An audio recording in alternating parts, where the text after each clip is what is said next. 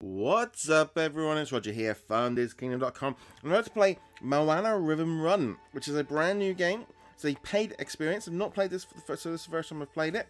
So let's jump into it. So where are you? So we're on level 1.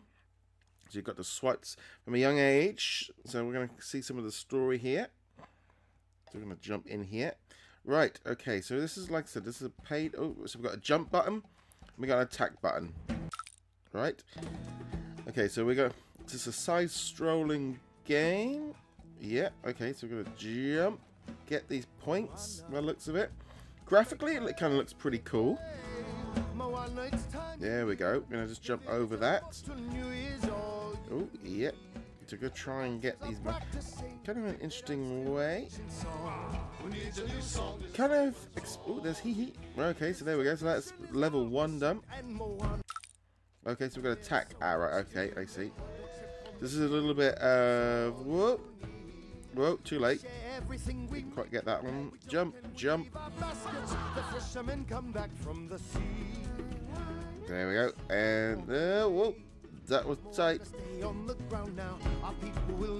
Wait. Whoop, too late. Whoa. Let's do this. Let's do this. Let's do this. Oh, we just hit a save point. So this move, this um game features um lots of music from the movie. Whoa. Ah, straight into a brick wall. I failed. Let's try that again. Here we go. So like I said, graphically it doesn't look too bad. I'm gonna be honest. I kind of with apps. Um obviously this is a paid app, so you have to take that into consideration. But to me, a paid app usually indicates one thing: you kind of get a full, a better experience because you get everything in one go. You don't have to keep getting told to wait for stuff. You can kind of enjoy the game as it was. Maybe because I'm more of a traditional video game player, I tend to like just buying a game and playing it and not having to be worried about microtransactions like we tend to see with other games. So generally Disney seem to be doing this with a lot of games. They kind of release a paid app at the same time as they do kind of free-to-play ones. Like I said, this seems to be quite fun. You know, you're not going to get bugged for buying extra purchases, so that's a good thing as well. well. Jump, jump, jump. Oh, whoa, that's a bit tight. That's right. We progress saved. We're safe and we're well provided. And when we look to the Yeah, okay, we're gonna keep jumping. Whoa, whoa, jump, jump, jump. Okay. Yeah, go.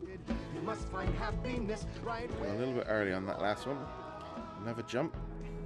Kind of expected a new Super Mario game to be very similar to this actually. Maybe not um, obviously in terms of how it works. There's gonna be one control wise, you know, kind of seem to be getting used to it now. Kind of getting that sort of rhythm, and that's probably what you need to get. Okay, so we've knocked over all the coconuts, so we're just going to keep rolling along. Whacking. I mean, you could just do this by the looks of it. That'll seem to work just as well. Build our future together. Where we are. the beach. Every path leads you back to where you are. Here we go.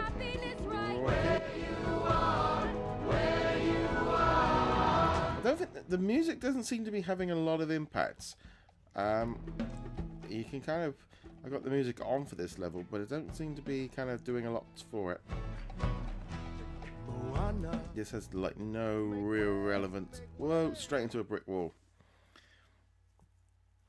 Level failed. Okay, quite. A, so we're on level seven. Right, and continuing on. Whoop.